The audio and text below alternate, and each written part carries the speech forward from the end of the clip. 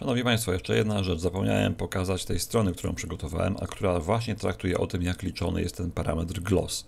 Ta część, którą teraz pokazuję, jest związana dokładnie z tym materiałem nagranym poprzednio, tuż przed chwilą.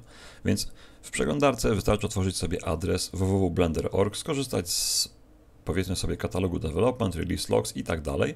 I dla wersji Blendera 2.46, więc dość starej już, istnieje wyjaśnienie, co to jest to glossy reflection. Glossy reflection, czyli takie błyszczące lustro. I teraz mamy tutaj opis, jak to działa, są różne przykłady. Mamy tutaj rozmyte odbicia i rozmytą refrakcję dla obiektów przezroczystych. No i te rozmycie wygląda właśnie w taki sposób. ok?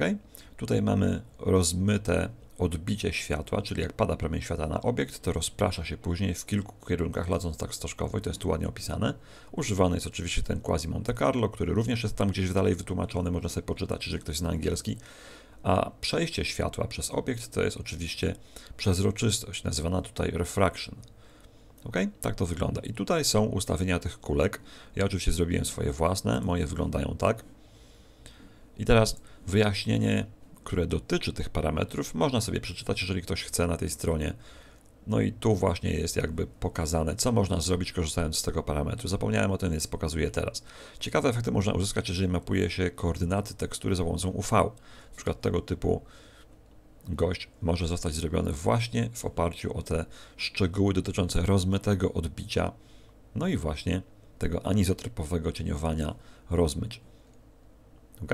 Całkiem fajny model. Warto sobie popatrzeć na tą stronę, poszukać tego modelu i dokładnie innych informacji.